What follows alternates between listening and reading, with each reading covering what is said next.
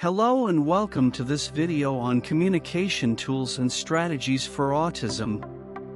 In this video, we will discuss the different tools and strategies that can help individuals with autism communicate effectively. Autism spectrum disorder is a neurodevelopmental disorder that affects communication, social interaction, and behavior. Individuals with autism often have difficulty expressing themselves, understanding social cues, and maintaining conversations. However, with the right tools and strategies, communication can become easier and more effective. Augmentative and Alternative Communication AAC. The first tool we will discuss is Augmentative and Alternative Communication or AAC. AAC refers to any tool or strategy that helps individuals with autism communicate beyond traditional speech. This can include visual supports such as picture cards or boards, communication apps on smartphones or tablets, or speech-generating devices. These tools can help individuals with autism express themselves more easily and understand what others are saying. Social stories. Another effective tool for individuals with autism is social stories. Social stories are short, illustrated stories that describe a situation, skill, or concept in a way that is understandable and relatable to the individual with autism.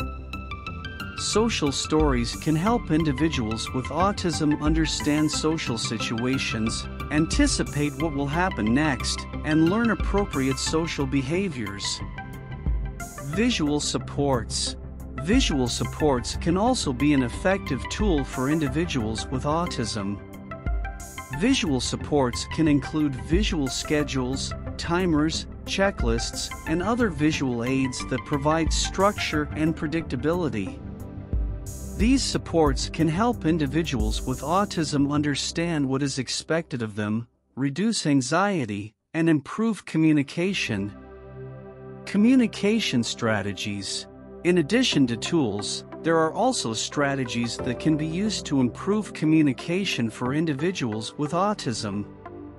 One effective strategy is to use simple and clear language when speaking. This can help individuals with autism understand what is being said and respond appropriately. Another strategy is to use visual cues, such as pointing or gesturing, to help individuals with autism understand what is being communicated. Finally, it is important to give individuals with autism time to process information and respond. Conclusion In conclusion, there are many different communication tools and strategies that can be used to help individuals with autism communicate effectively. Augmentative and alternative communication, social stories, visual supports, and communication strategies can all be effective ways to improve communication for individuals with autism. If you are working with an individual with autism, it is important to identify their specific communication needs and tailor your approach to meet those needs.